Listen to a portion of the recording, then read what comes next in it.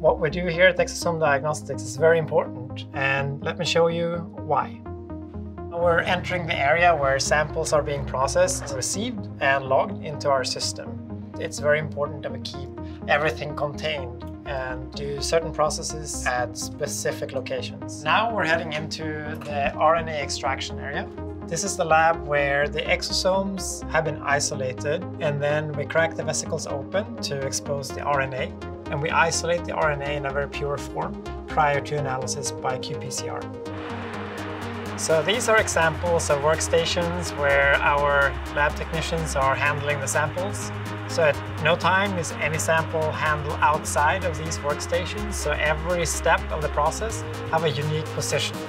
This is where samples are being transported from this area of the lab to the next area, which is the PCR amplification.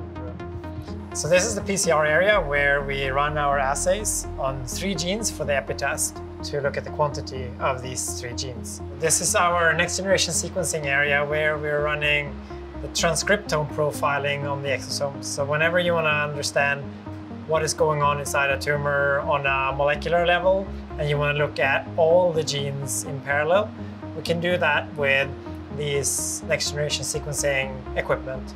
And we're able to see over 30,000 different genes in these exosomes this NGS area is very important for us because here we're able to completely profile the RNA transcriptome in the exosomes.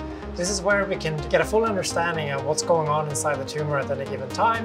This is very important because we can stratify patients for clinical trials and help pharma companies develop drugs in a more efficient and targeted way.